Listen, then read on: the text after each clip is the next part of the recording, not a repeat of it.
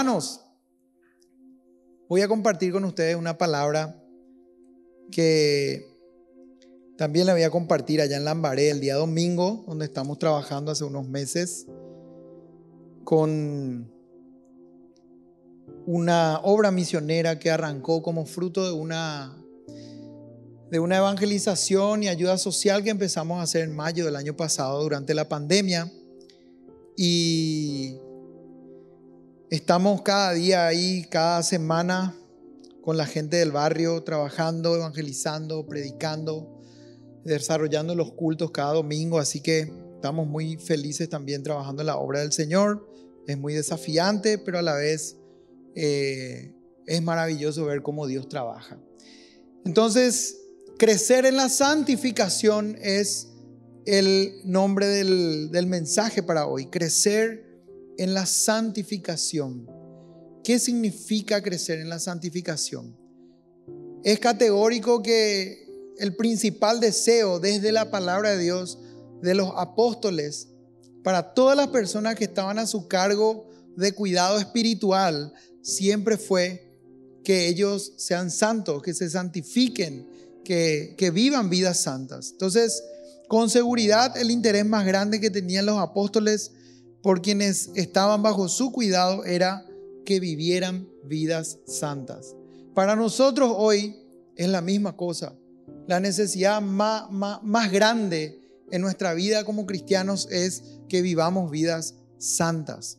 Eso no significa que vamos a vivir vidas en donde nos alejamos de todo el mundo, no nos relacionamos con nadie, nos encerramos, vivimos en un claustro, vivimos eh, totalmente aislados de la sociedad y si tenemos que trabajar o relacionarnos con alguien, lo hacemos solamente lo justo y necesario porque nosotros somos santos y no podemos tener contacto con los mundanos, con los impuros. Así normalmente solemos, referirnos. ¿verdad? Sin embargo, claramente las enseñanzas de la palabra de Dios nos llaman a ser un pueblo que conoce a su Dios y actúa en consecuencia y por ende necesitamos estar relacionados con la gente que no precisamente comulga lo mismo que nosotros en cuanto a la parte espiritual, en cuanto a la fe. Porque una de las cosas más importantes que nosotros tenemos que tener en cuenta es que la vida cristiana se desarrolla por medio del relacionamiento con los demás.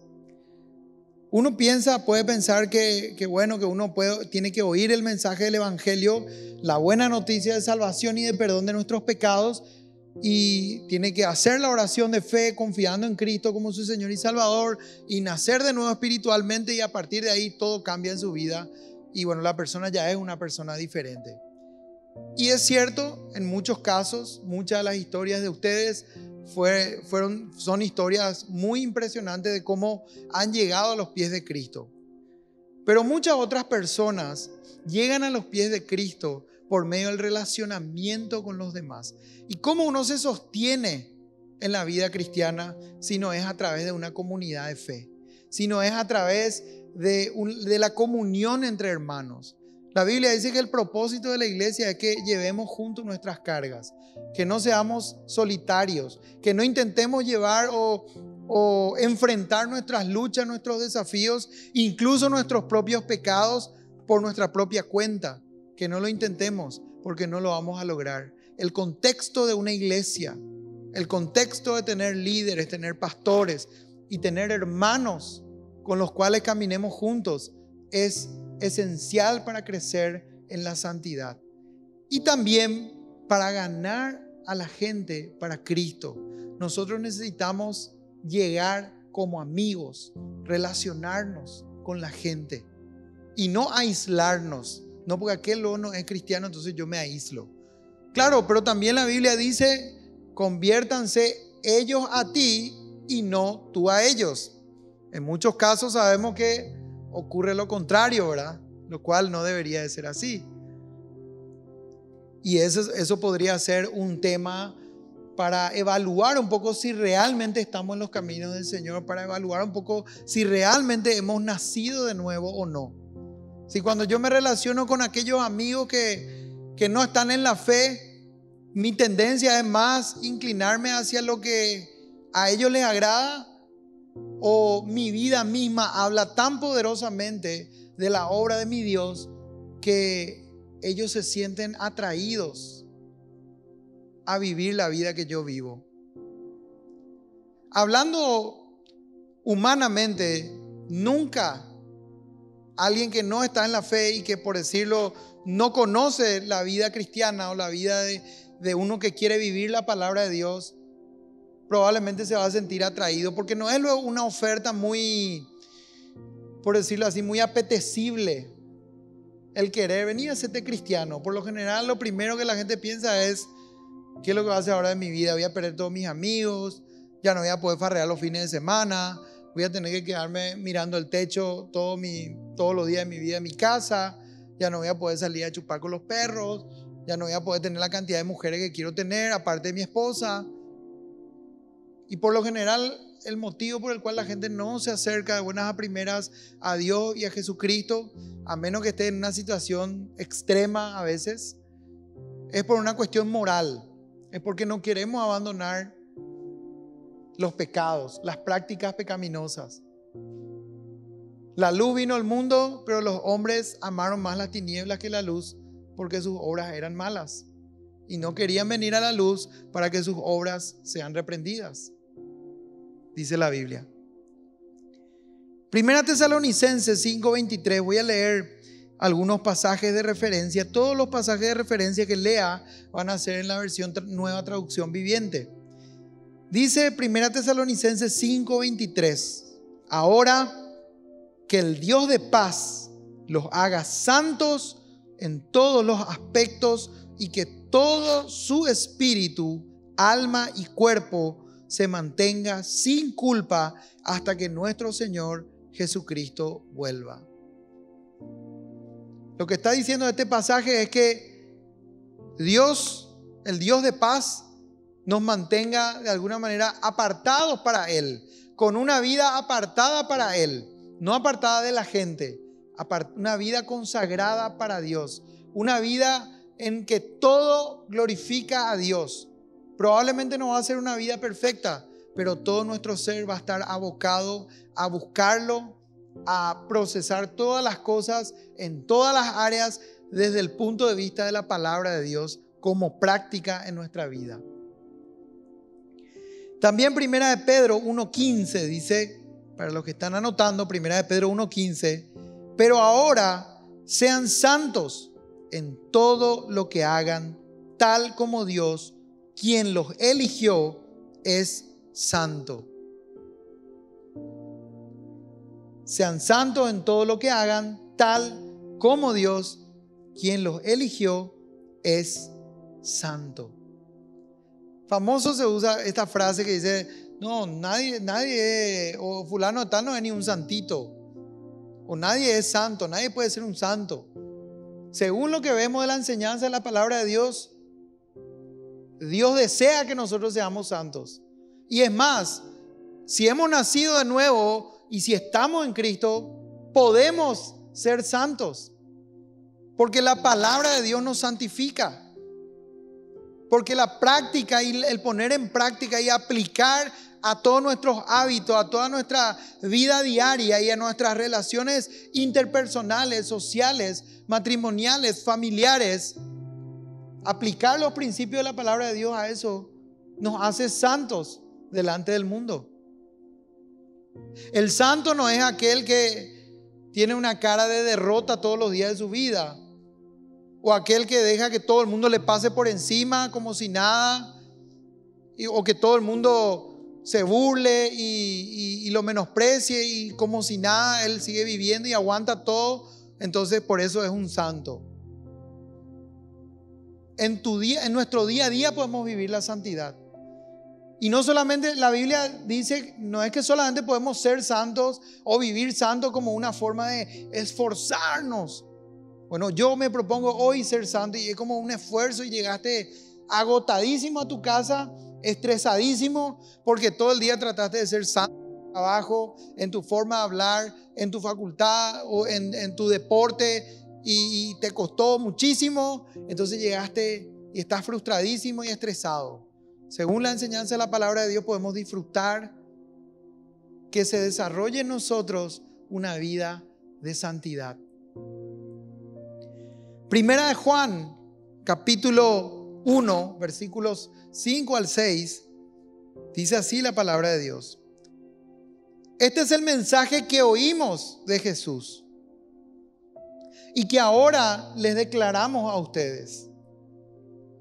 Dios es luz y en Él no hay nada de oscuridad. Por lo tanto, mentimos si afirmamos que tenemos comunión con Dios, pero seguimos viviendo en oscuridad espiritual. No estamos practicando la verdad. Repito, Dios es luz y no hay nada de oscuridad en Él. Por lo tanto, mentimos si afirmamos que tenemos comunión con Dios. Decimos, yo soy cristiano, yo soy un seguidor de Cristo, yo soy creyente, yo creo en Cristo, creo en Jesucristo, creo en Dios. Mentimos y afirmamos que tenemos comunión con Dios, pero seguimos viviendo en oscuridad espiritual. Es decir, que nuestras prácticas y nuestra vida y nuestros hábitos nunca han cambiado en un proceso de tiempo. Hay un nombre que los teólogos le ponen a, lo que ocurre posteriormente al nuevo nacimiento. Cuando uno viene a Cristo o cuando oye la palabra de Dios, oye la buena noticia de salvación, de perdón de pecados, de esperanza de vida eterna, oye la explicación práctica que Cristo murió por nuestros pecados, resucitó al tercer día, pagó el precio de todos nuestros pecados y Dios nos ofrece perdón y salvación por medio de su Hijo Jesucristo, quien fue clavado en la cruz de tanto amor que Dios nos tenía porque eso dice el Juan 3:16, de tal manera amó Dios al mundo que nos dio, que dio a su Hijo, para que todo aquel que en Él cree no se pierda, mas tenga vida eterna. Cuando uno viene a Cristo y nace de nuevo espiritualmente, nace a una nueva vida, es una nueva criatura, dice la Biblia.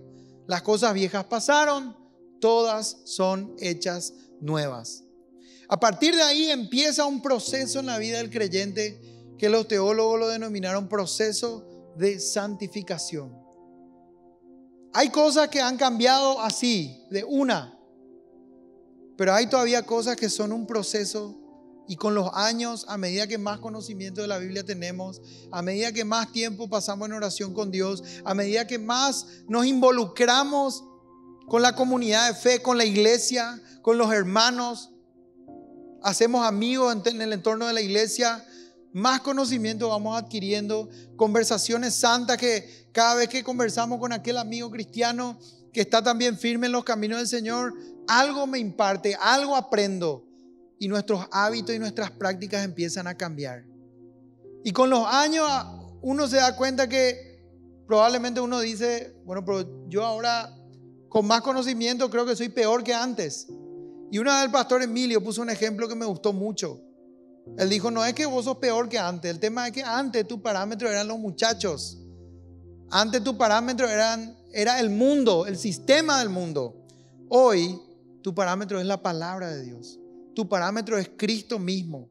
Y estás en ese proceso de santificación en el cual tu vida está cambiando constantemente. Hay cosas en las que no te das cuenta, pero vas cambiando, vas madurando. Dios va permitiendo alguna que otra prueba. Dios también de alguna manera eh, permite que nuestro carácter sea formado con ciertas personas, en ciertos niveles de relacionamiento. Después vienen algunas tentaciones que están a la orden del día y en alguna uno cae y se siente frustrado y busca ayuda y sale adelante. Todo eso forma parte del proceso de santificación, siempre y cuando no le demos rienda suelta al pecado, ¿verdad? Porque la gracia de Dios y la salvación eh, la palabra de Dios dice que fuimos llamados a libertad en Cristo. Pero tampoco tenemos que tomar esa libertad como una ocasión para la carne, para satisfacer los deseos de la carne, dice. Sino al contrario, pudiendo practicar o pudiendo satisfacer los deseos de la carne, de la carne, los deseos pecaminosos, no lo hacemos porque sabemos que nuestra libertad está en Cristo porque sabemos que somos plenos en Él y que fuera de Él no hay satisfacción para nosotros en esta vida. La santificación es tan crucial para quienes profesan ser creyentes y no tienen interés por ella.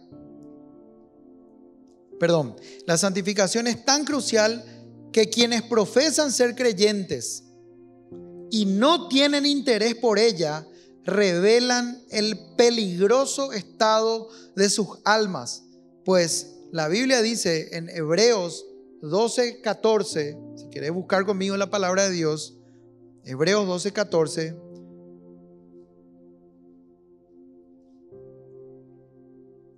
Esfuércense por vivir en paz con todos y procuren llevar una vida santa, porque los que no son santos no verán al Señor.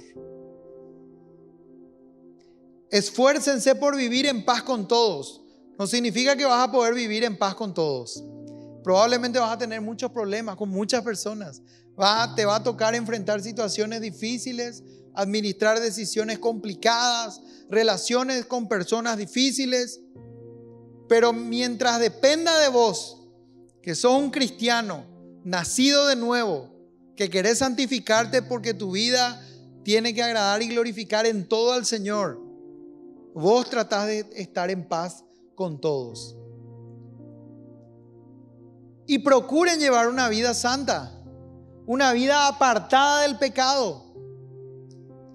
Y se dice aquella frase también, no tengas miedo de sufrir, tenés miedo de pecar.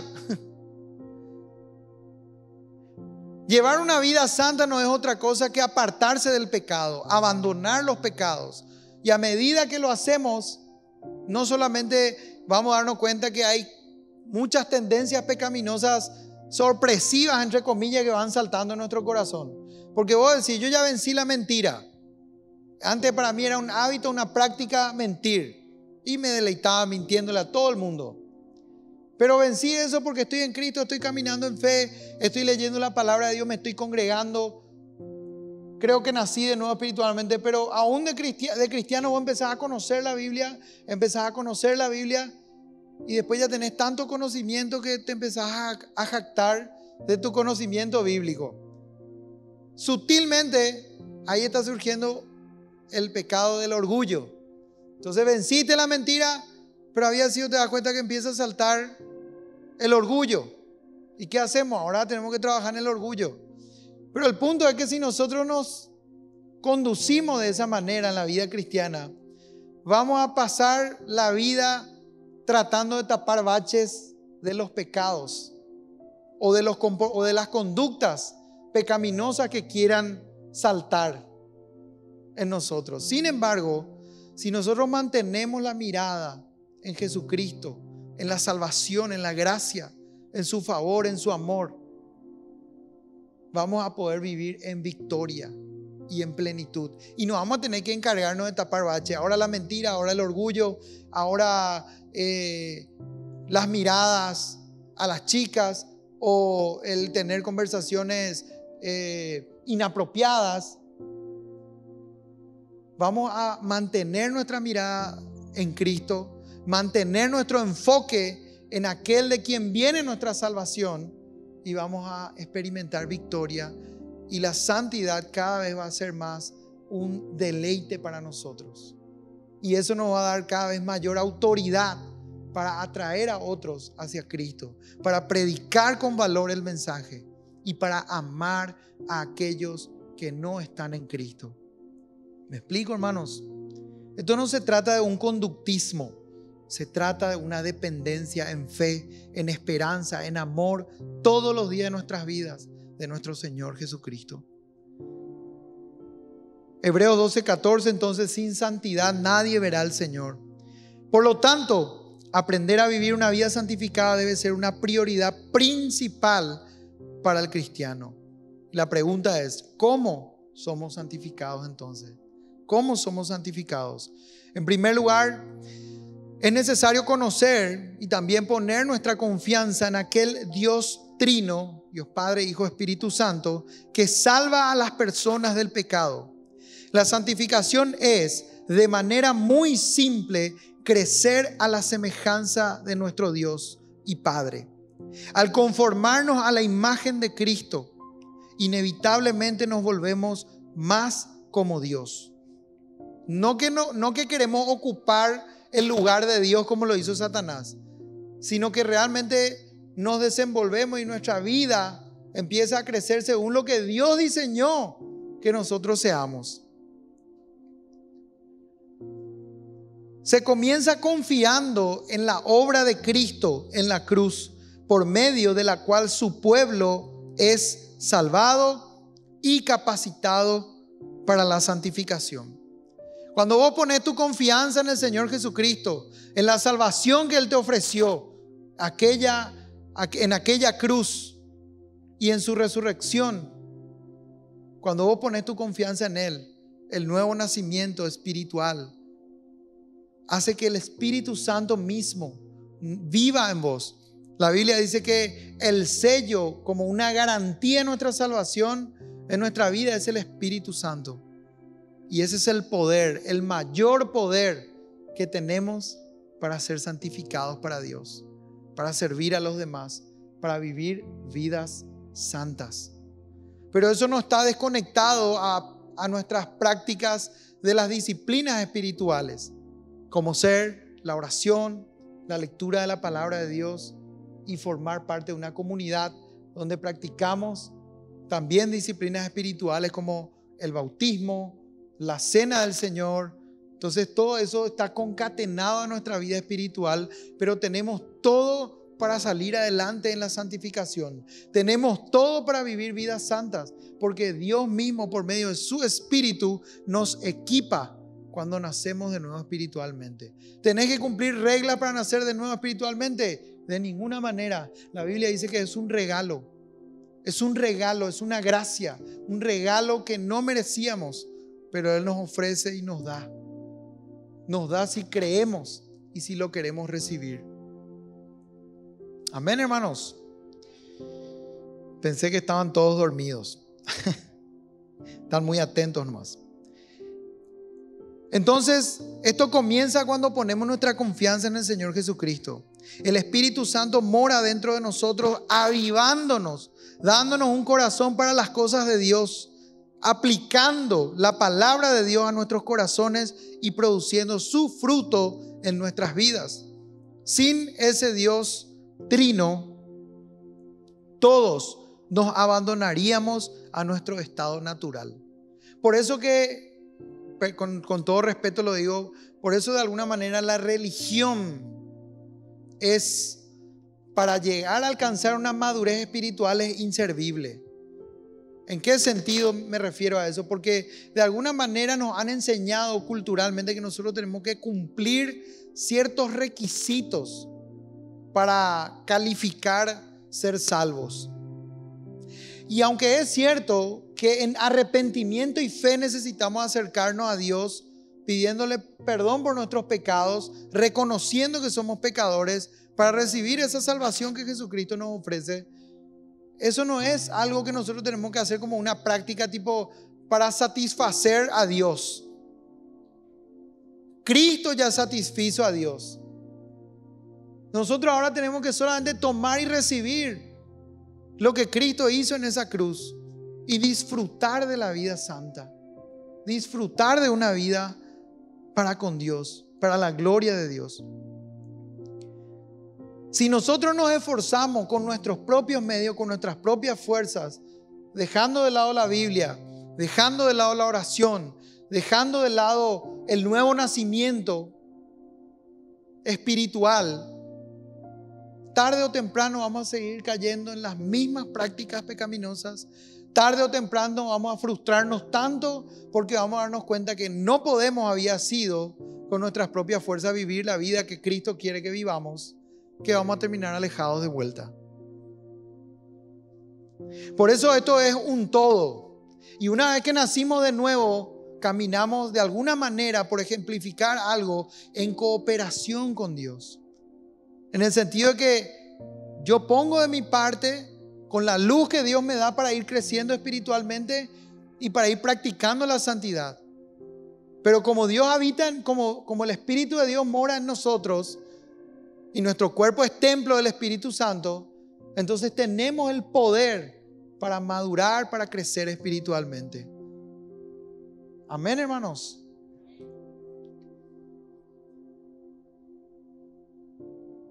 Efesios capítulo 2, versículos 1 y 2. Antes leo, sin el Dios trino, todos nos abandonaríamos a nuestro estado natural, muertos en nuestros delitos y pecados, en las garras de un enemigo trino, un enemigo también que es trino, Satanás, el mundo y el pecado que mora en nosotros mismos. Efesios capítulo 2, versículos 1 y 2 dice lo siguiente. Antes ustedes estaban muertos a causa de su desobediencia y sus muchos pecados. Vivían en pecado igual que el resto de la gente, obedeciendo al diablo, el líder de los poderes del mundo invisible. ¿Quién es el espíritu, espíritu con minúscula, que actúa en el corazón de los que se niegan a obedecer a Dios. En segundo lugar, en primer lugar, entonces nuestra confianza debe estar en Dios y en Jesucristo, quien es el autor y consumador de nuestra fe, aquel verdadero proveedor de nuestra salvación. En segundo lugar, debemos confiar en lo que Dios nos ha dado, su palabra y específicamente en los diez mandamientos. ¿Por qué los diez mandamientos son muy importantes? Los diez mandamientos para un creyente, para un cristiano que ha nacido de nuevo, son sumamente importantes porque son como un tutor, como un maestro, como aquel técnico de fútbol que le va indicando los pasos que deben dar a sus jugadores. Los diez mandamientos para nosotros son amarás a Dios sobre todas las cosas. Entonces yo uso mi mente, uso mis fuerzas, uso mi corazón, mis motivaciones para amar a Dios sobre todas las cosas. Jesucristo hizo una, un resumen brutal de los diez mandamientos. Cuando los fariseos le tendieron una trampa, le querían tender una trampa, en la cual él no cayó preguntándole cuál es el mandamiento más importante. Y él resume de esta manera, amarás a Dios sobre todas las cosas, con todas tus fuerzas, con toda tu mente, con todo tu ser y a tu prójimo como a ti mismo. El mandamiento más importante, amar a Dios sobre todas las cosas y el segundo, amar a tu prójimo. Y dijo que eso era el resumen de toda la ley. El de todos los diez mandamientos, de la ley moral de Dios. Para nosotros es sumamente importante, los son importantes los tópicos de los diez mandamientos, no, para que nos, no porque si cumplimos eso, con ello tenemos salvación de nuestras almas. No, nuestra salvación está en Cristo. Depende de aquel que ya la ganó para nosotros. Entonces podemos estar seguros de nuestra salvación y de nuestro nuevo nacimiento.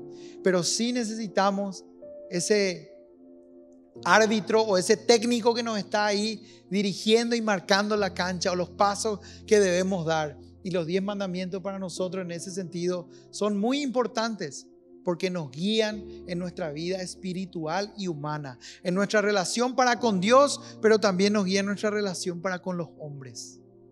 Por eso es importante memorizar los diez mandamientos y la palabra de Dios en general, tener una práctica de memorizar la palabra de Dios todos los días. Porque eso siempre va a ser como un ayo, como un tutor, como un maestro que nos enseña cada día. Entonces debemos confiar en que lo que Dios nos ha dado en su palabra y específicamente en los diez mandamientos, donde hallamos lo que necesitamos saber sobre la santidad. La Biblia dice que debemos arrepentirnos, cambiar nuestra, nuestra mente, nuestra manera de pensar. El arrepentimiento es de manera práctica. Voy a poner un ejemplo que puede parecer absurdo, pero los ejemplos absurdos a veces son válidos para sellar en nosotros el ejemplo que se quiere dar. Supongamos que yo antes tenía como un estilo de vida robar y me encantaba robar y ese era mi medio de trabajo y yo decía que no había otra forma mejor de trabajar en este mundo. Pero un día me presentaron el Evangelio, me presentaron a Cristo, empecé a leer la Biblia. Mis prácticas no cambiaron de la noche a la mañana, pero había sido, encuentro un pasaje del apóstol Pablo en una de sus cartas a las iglesias que dice, el que robaba, no robe más, sino que se dedique a trabajar honestamente. ¡Wow! Me pongo triste y hay una tristeza que viene de Dios que produce arrepentimiento, dice la Biblia. Pero hay una otra tristeza que viene del mundo que es para muerte. Pido perdón a Dios por mis pecados. Si puedo resarcir el daño, es mi responsabilidad resarcir el daño. Y a partir de ese tiempo empiezo a trabajar honestamente para llevar el pan a mi casa. Y glorifico a Dios por medio de eso. De eso se trata el cambio de mentalidad, el cambio de pensamiento. Antes era un adúltero, y leo la Biblia y la Biblia dice, sea vuestro lecho sin mancilla, sea tu cama sin manchas, vivamos en santidad con nuestras esposas, amémosla como Cristo amó a la iglesia y decido abandonar mi vida de adulterio porque mi vida le pertenece a Cristo y yo me debo a Cristo y porque me debo a Cristo necesito serle fiel a mi esposa. Así cambia la mentalidad. Por eso no es un cliché nomás que los pastores estén insistiendo tanto para que tengamos una disciplina de lectura bíblica a diario. Es nuestra vida, literalmente nuestra vida, es la palabra de Dios, es la oración, es formar parte de una comunidad de fe. Arrepentirnos, cambiar nuestra mentalidad, nuestra manera de pensar y que debemos obedecer. La Biblia dice que debemos arrepentirnos y obedecer nos enseña lo que debemos dejar de hacer, pensar y sentir y lo que debemos comenzar a hacer, pensar y sentir. Miremos unos pasajes, me quedan pocos minutos. Isaías capítulo 1, versículos 16 y 17. Lávense y queden limpios. Quiten sus pecados de mi vista. Abandonen sus caminos malvados. ¿Verdad que la Biblia es práctica, hermanos? Mucha practicidad hay en esta palabra. Lávense y queden limpios. La respuesta a cómo nos vamos a lavar y quedar limpios viene abajo. Quiten sus pecados de mi vista. Mi, mi pregunta es, ¿de dónde, cómo quitamos nuestros pecados de la vista de Dios? David decía que si subía a los cielos, Dios estaba ahí. Si bajaba al Seol, debajo de la tierra, ahí estaba Dios. ¿Cómo quitamos nuestros pecados si no es abandonándolos? Abandonen sus malvados caminos. Aprendan a hacer el bien. Busquen la justicia y ayuden a los oprimidos. Defiendan la causa de los huérfanos y luchen por los derechos de las viudas. Romanos 13:12. La noche ya casi llega a su fin. El día de la salvación amanecerá pronto. Por eso dejen de lado sus actos oscuros, como si se quitaran ropa sucia y pónganse la armadura resplandeciente de la vida recta. No es que vos tenés que imaginarte que te pone una armadura y que te imaginas que te quita tu pecado como una ropa sucia. No. Tu vida recta es la armadura resplandeciente. Tu vida de prácticas en los principios de la palabra de Dios es la armadura resplandeciente que glorifica a Dios. Categóricamente la vida de una persona que en este mundo quiere vivir una vida recta delante de Dios y delante de los hombres va a resplandecer. Porque empieza a caminar una vida en contra de la corriente de este mundo. Empieza a vivir una vida diferente a la que todo el mundo vive y la que todo el mundo sigue. ¿Me explico? Efesios 4:22. Desháganse de su vieja naturaleza pecaminosa y de su antigua manera de vivir, que está corrompida por la sensualidad y el engaño Pónganse la nueva, el versículo 24, Efesios 4, 24, pónganse la nueva naturaleza creada para ser a la semejanza de Dios, quien es verdaderamente justo y santo. En tercer lugar, debemos tener la seguridad de que Dios ha dado todo el poder necesario para que la santificación tenga lugar en la vida de sus hijos.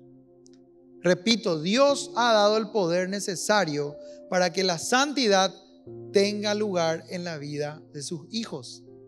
Efesios capítulo 1, versos 16 en adelante, dice, no he dejado de dar gracias a Dios por ustedes. Los recuerdo constantemente en mis oraciones. Y le pido a Dios, el glorioso Padre de nuestro Señor Jesucristo, que les dé sabiduría espiritual y percepción para que crezcan en el conocimiento de Dios. Pido que les inunde de luz el corazón para que puedan entender la esperanza segura que Él ha dado a los que llamó. Es decir, su pueblo santo, quienes son su rica y gloriosa herencia. También pido en oración que entiendan la increíble grandeza del poder de Dios para nosotros, los que creemos en Él. Es el mismo gran poder que levantó a Cristo de los muertos y lo sentó en el lugar de honor a la derecha de Dios en los lugares celestiales. Pablo oraba para que pudieran conocer a Dios y para que tuvieran esperanza, para que conocieran las riquezas de la gloria de su herencia y para que conocieran la supereminente grandeza del poder que obra a favor de los creyentes. Luego pasa a explicar que este gran poder es el mismo por medio del cual Jesús fue levantado de entre los muertos, sentándole a su diestra en los lugares celestiales. Así que de parte de Dios, habiendo nacido de nuevo espiritualmente, tenemos el poder para que la santificación tenga lugar en nuestra vida. Y por último, debemos guardarnos de dos grandes errores en cuanto a la santificación. El legalismo por un lado, pero por otro lado el libertinaje o liberalismo. Por un lado el legalismo procura añadir el mérito de nuestras obras a Cristo y la sabiduría de nuestras reglas a la palabra de Dios. Es decir, que nosotros ponemos nuestra sabiduría humana por encima de lo que Dios dispuso en su palabra para vivir una vida santa. De eso se trata un poco el legalismo. Pero al hacerlo, al hacer esa sabiduría que yo creo, mi estrategia humana o mi sabiduría humana es mejor que lo que dice la palabra de Dios, al aplicar eso en nuestra vida, abandonamos a Cristo o rechazamos a Cristo. Y en la libertad, o sea, al hacer eso, pierde a Cristo, pierde la libertad, pierde la esperanza, la obediencia, la gracia y el amor. Gálatas 5, 1 al 7. Dice así, por lo tanto Cristo en verdad nos ha liberado. Ahora asegúrense de permanecer libres y no se esclavicen de nuevo a la ley. Presten atención. Yo Pablo les digo lo siguiente. Si dependen de la circuncisión para hacerse justos ante Dios, entiéndase circuncisión, obras humanas o obras externas, entonces Cristo no les servirá de nada. Lo repito, si pretenden lograr el favor de Dios mediante la circuncisión, entonces están obligados a obedecer cada una de las ordenanzas de la ley de Moisés. Pues si ustedes pretenden hacerse justos ante Dios por cumplir la ley, han quedado separados de Cristo. Por un lado, los diez mandamientos dijimos, la ley súper importante para nosotros como cristianos porque es como ese entrenador, ese técnico o ese entrenador que está ahí marcándonos la cancha, marcándonos pautas. Eh, si nos caemos, nos alienta a levantarnos para seguir viviendo una vida que agrade a Dios, una vida para la gloria de Dios en todas las áreas. Pero por otro lado, si nosotros solamente intentamos cumplir esa ley o esos diez mandamientos o superponer nuestras, nuestras, nuestra sabiduría humana sobre la sabiduría de Dios, abandonamos y despreciamos a Cristo y de ninguna manera podemos lograr el favor de Dios. Entonces dice, pues si ustedes pretenden hacerse justos ante Dios por cumplir la ley, han quedado separados de Cristo, han caído de la gracia de Dios. Sin embargo, los que vivimos por el Espíritu, esperamos con anhelo recibir por la fe la justicia que Dios nos ha prometido. Pues una vez que depositamos nuestra fe en Cristo Jesús, de nada sirve estar o no circuncidado. Lo importante es la fe que se expresa por medio del amor. Ustedes corrían muy bien la carrera. ¿Qué les impidió seguir la verdad? Dice el apóstol Pablo aquí en Gálatas. El liberalismo, por otro lado, convierte nuestra libertad en Cristo en una oportunidad para el pecado, dando lugar a muchos tipos de pecados, como ser inmoralidad sexual, culto falso, conflictos en, las relaciones interpersonales y la falta de dominio propio. Gálatas 5:13 dice así, pues ustedes, mis hermanos, han sido llamados a vivir en libertad pero no usen esa libertad para satisfacer los deseos de la naturaleza pecaminosa. Al contrario, usen la libertad para servirse unos a otros por amor. Galatas 5, 19 al 21 dice, cuando ustedes siguen los deseos de la naturaleza pecaminosa, los resultados son muy claros. Inmoralidad sexual, impureza, pasiones sensuales, idolatría, hechicería, hostilidad, peleas, celos, arrebatos de furia, ambición egoísta, discordias, divisiones, envidia, borracheras, fiestas desenfrenadas y otros pecados parecidos. Permítanme repetirles lo que les dije antes. Cualquiera que lleve esa clase de vida no heredará el reino de Dios. Finalmente debemos crucificar nuestra carne y vivir en el Espíritu. Crucificar nuestra carne y vivir en el Espíritu. Y voy terminando. Y dice así, Gálatas 5, 24 y 25. Los que pertenecen a Cristo Jesús han clavado en la cruz las pasiones y los deseos de la naturaleza pecaminosa. Y los han crucificado allí ya que vivimos por el Espíritu, sigamos la guía del Espíritu en cada aspecto de nuestra vida. Crucificar la carne es alejarse del pecado y desarrollar un odio más y más grande por el mismo. Es odiar lo que Dios odia, odiar el pecado. Pero no es me esfuerzo más, odio este pecado. No, es con nuestra vida, con nuestras prácticas. ¿Me explico? Seguir la guía del Espíritu es seguir lo que la palabra de Dios dicta para nuestra vida. Lo que Dios desea para nosotros en una vida entregada y consagrada a Cristo.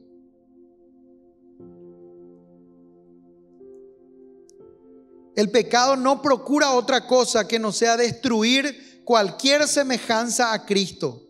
Por lo tanto, el arrepentimiento es una gracia continua en la vida del creyente. No es una vez más que vinimos, Señor, te abro mi corazón, me arrepiento de mis pecados y después nunca más me arrepiento. Es una gracia que necesitamos practicarla de manera continua. Siempre confesando, orando por perdón y volviéndonos del pecado abandonando el pecado, alejándonos del pecado, buscando ayuda si es necesario. Muchas personas pecan, caen en pecados, pero con el fin de, no buscar ayuda, es como que caen en, ese, en esos fangos, en, ese, en esa tierra, tierra movediza, arena movediza. Y a medida que más luchan por salir, más se están hundiendo porque no, no son capaces de gritar auxilio, hermano, ayúdame. Pastor, necesito un consejo, necesito una ayuda, necesito una oración, necesito una guía. Y ahí la mano del hermano de la comunidad de fe le ayuda a salir. Hay cosas de las que no podemos salir si no buscamos ayuda. Para eso existe la iglesia. Para eso tenés pastores, tenés líderes. Tenés hermanos más maduros en la fe. Para eso tenemos hermanos, porque a veces, aunque uno sea maduro, aunque uno tenga años en la fe, caen cosas que no puede salir solo si no es con la ayuda de otros hermanos, si no es con el contexto de su iglesia. Y eso forma parte de nuestra santificación.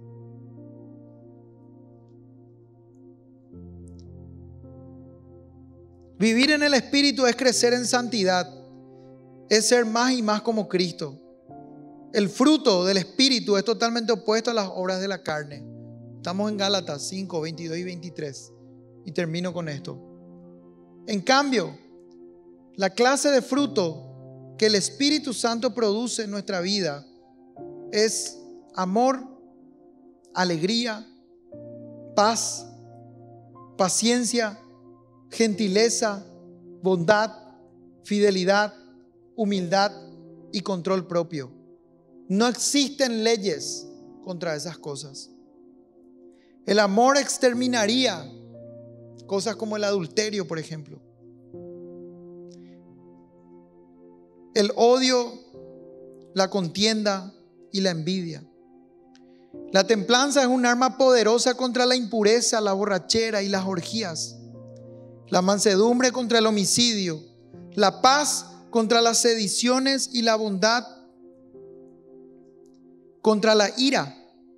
Estas son gracias que no se originan en el corazón humano de manera normal o natural.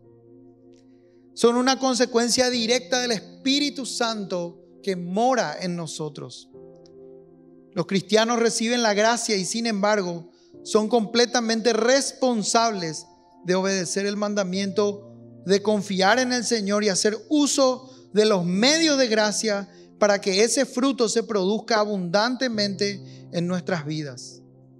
De esta manera podemos entender la necesidad externa que tenemos del Dios Trino, su santa palabra y su mano poderosa para que nos guíe en la gracia de la santificación, manteniéndonos lejos de las piedras del legalismo y del precipicio del liberalismo. Y así se constituye una vida en donde todo se torna para la gloria de Dios. Amén, hermanos. Podemos ponernos en pie y orar al Señor que nos ayude a ser santos. Una de mis oraciones más fuertes en toda mi vida es, Señor, yo quiero ser santo. Y esa debe ser nuestra oración. Y el Señor va a producirlos o propiciar los eventos y situaciones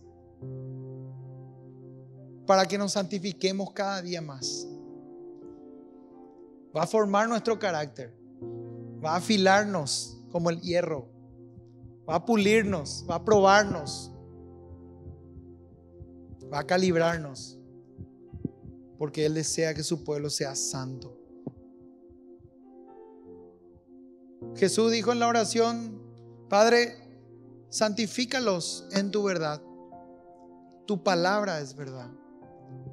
Señor, en esta noche te pedimos, con tu palabra en el nombre de Jesús, Padre, santifícanos, santifícanos en tu verdad. Tu palabra es verdad, Señor. Hoy venimos rendidos delante de ti. Reconocemos, Señor, que en muchas áreas hay falencias en nuestra vida espiritual, motivo por el cual probablemente aún no hemos crecido espiritualmente en esas áreas, motivo por el cual muchas veces nos hemos dejado estar y no nos hemos santificado. Señor, hoy te pedimos perdón por no tomar en cuenta la santificación y la importancia de que seamos santos para ti. Hoy venimos de vuelta, Señor, en arrepentimiento, en fe, en esperanza, creyendo que recibiremos lo que te pedimos. Señor, quiero ser santo. Decirle conmigo, Señor, quiero ser santo. Hazme un santo para ti, Señor. Hazme un santo para ti que pueda deleitarme las maravillas de tu santidad y de llevar una vida santa. En el nombre de Jesús, Señor, ponemos delante de ti todas nuestras cargas, nuestras luchas, nuestros pecados, nuestras ansiedades, nuestra falta de carácter, nuestro legalismo y nuestro liberalismo venimos a poner delante de ti. Perdona nuestra negligencia, Señor, en leer las escrituras, nuestra negligencia en orar poco o no orar lo que deberíamos de orar. Perdona nuestra negligencia, Señor, en no estar involucrados con tu iglesia como deberíamos estar. Perdónanos, Señor. Perdona nuestra inmadurez. Haz que podamos ser libres, Señor. Libéranos. Ayúdanos a salir de este lugar perdonados y santificados. Purifica nuestros corazones, Señor. Tu palabra dice, los del limpio corazón verán a Dios. Te amamos, Señor, y te bendecimos. Te adoramos y te entregamos nuestras vidas. Nos consagramos a ti en el nombre de Jesús. Amén y amén.